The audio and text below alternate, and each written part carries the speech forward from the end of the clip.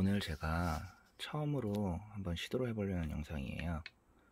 바로 발렌시아가 클러치백 unboxing 영상입니다. unboxing을 하기 앞서 제가 한번 상태를 체크해 보느라고 이거를 한번 뜯어보고 한번 제품을 보고 다시 그냥 영수증이나 이런 것들은 이런 것들 있죠.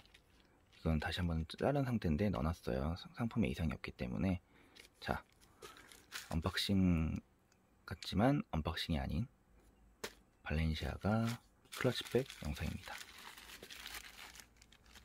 이번 신상이에요. 신상 이렇게 돼 있고요.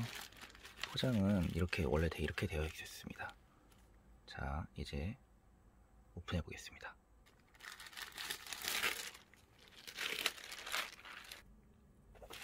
이 종이를 이렇게. 발렌시아가. 자 잠시만요. 짜라잔. 이렇게 오픈하면 이렇습니다. 발렌시아가.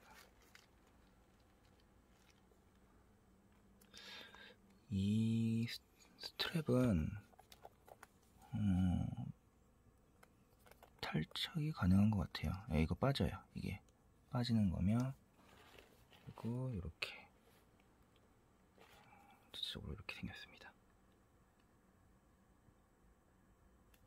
자 이제 제가 안을 보여드릴게요. 잠시만요. 지퍼를 오픈하면 이렇게 이게 들어있습니다. 자 한 손으로 촬영하냐고 자 내부는 이렇습니다.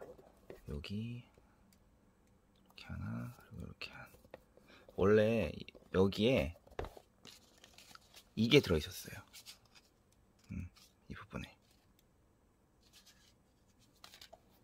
자 그리고 이번에는 여기에 발렌시아가라고 적혀 있습니다. 잘 보이시나요?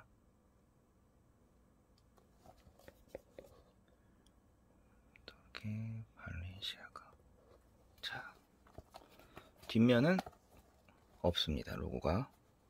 뒷면은 로고가 없어요. 이렇게 생겼습니다.